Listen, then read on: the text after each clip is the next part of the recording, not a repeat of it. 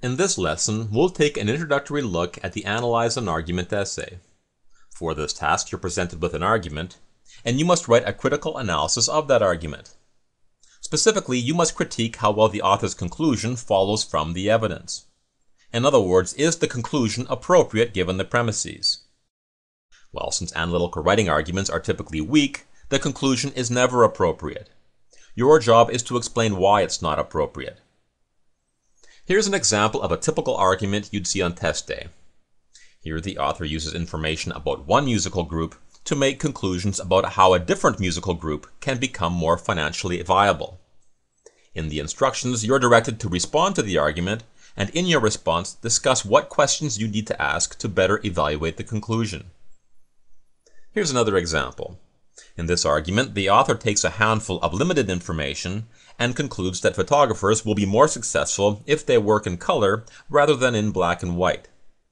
Here, the instructions tell you to respond to the argument, and in your response, examine the roles that assumptions play. Now, it's important to note that all of the possible arguments that you will encounter on test day are publicly available on the GRE website. As of January 2013, there were 174 essay prompts for the argument essay. Now, this number may change in the future, but the test makers will continue to make these topics available. Now, with each argument, you're given a set of instructions that will direct your essay. In the first example we looked at, the instructions are right here. And in the second example, the instructions are here. Now, on test day, the given argument will come with one of eight possible sets of instructions. Let's take a look at them. Now the good thing is that there are many similarities among these instructions. To begin, at the heart of all of them, we're directed to write an essay critiquing the argument. Each set of instructions merely directs the focus of that critique.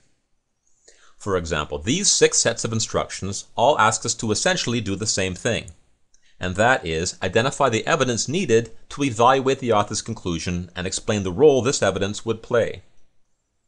Returning to all possible instructions, we can see that these instructions essentially direct you to identify assumptions and explain the role they play in the argument. Returning once again to all possible instructions, we can see that this last set of instructions essentially directs us to identify other possible explanations and discuss how they could be plausible. So really, each of the eight possible sets of instructions can be categorized as one of three types. In the future, we'll refer to these types as follows. Now, as an aside, it's useful to note that of the 174 publicly available essay prompts, the Type A instructions account for 65% of all instructions. The Type B instructions account for 30%, and Type C accounts for 5%. Now, even though there seems to be three different types of instructions, our strategy for handling all argument essays will be the same. The only difference will be the emphasis we place on certain components. Our strategy is as follows. The first step is to identify which category of instructions appears with the argument. The next step is to deconstruct the argument by identifying and summarizing the given premises and the conclusion. From here, once we have a good understanding of the argument, we'll start generating discussion points. To this end, we'll begin listing flaws in the argument.